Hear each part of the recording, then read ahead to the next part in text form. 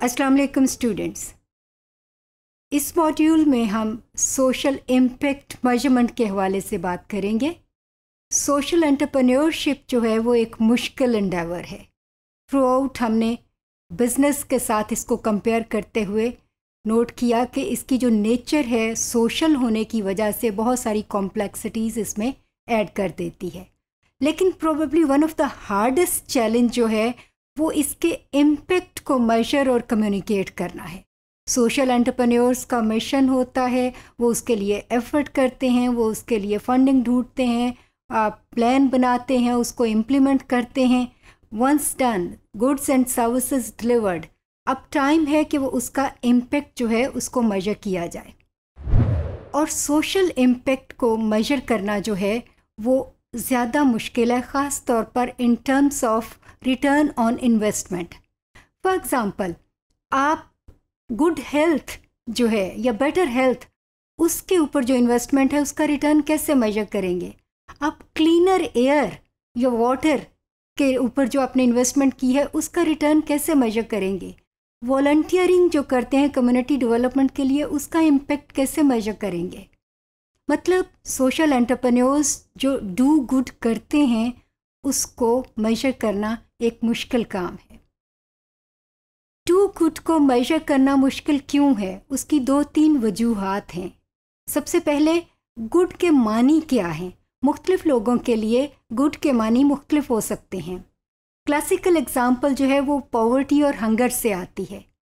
एक शख्स जो स्टाविंग है, जो भूख से मर रहा है उसके लिए एक वक्त का खाना जो है वो गुड है। लेकिन अगर कोई दूसरा शख्स जो पॉवर्टी में तो है, लेकिन स्टाविंग नहीं है, वो भूख से नहीं मर रहा, उसको मील्स मैसर हैं, एक या दो या तीन जितनी भी तो उसके लिए गुड का लेवल जो है वो थोड़ा सा ज़्यादा हो जाएगा।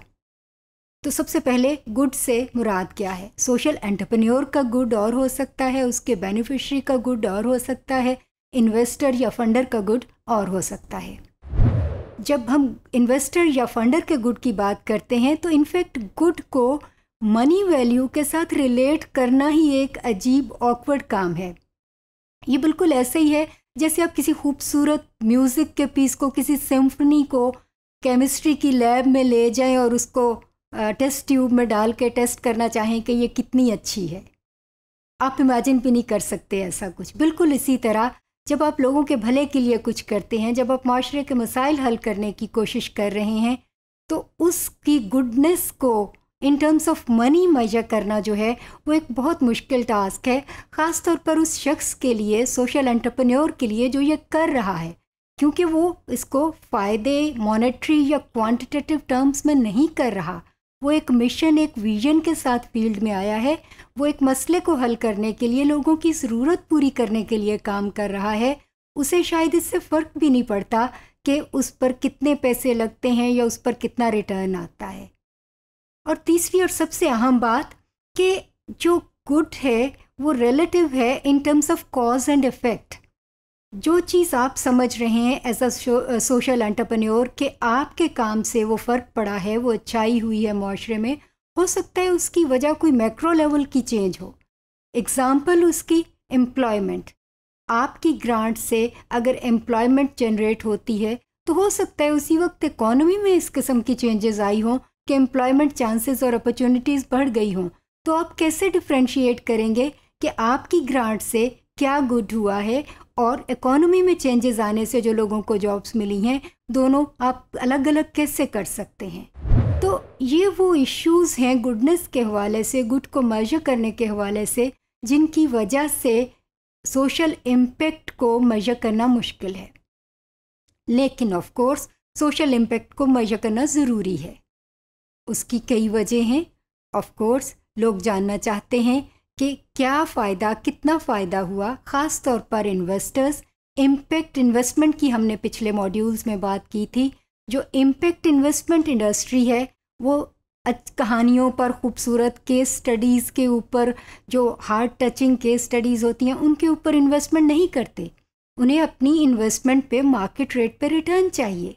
और इसके लिए ज़रूरी है कि जो इम्पेक्ट हुआ है, उसको मेजर किया जा सके। उसे कम्युनिकेट किया जा सके उन टर्म्स में जो इन्वेस्टर्स समझते हैं और इन्वेस्टर जो हैं, वो हिंसों की ज़ुबान समझते हैं, वो नंबर्स को क्वांटिफाई करके वो वो ज़ुबान समझते हैं। इसलिए भी ज़रूरी है मेज़रमेंट करना कि ख़ुद ऑर्गेनाइजेशन का प्रोफ़ाइल उसकी इफ़ेक्टिवनेस जो सोशल एंटरप्रेन्योर है, उसको, उसके लिए ज़रूरी है।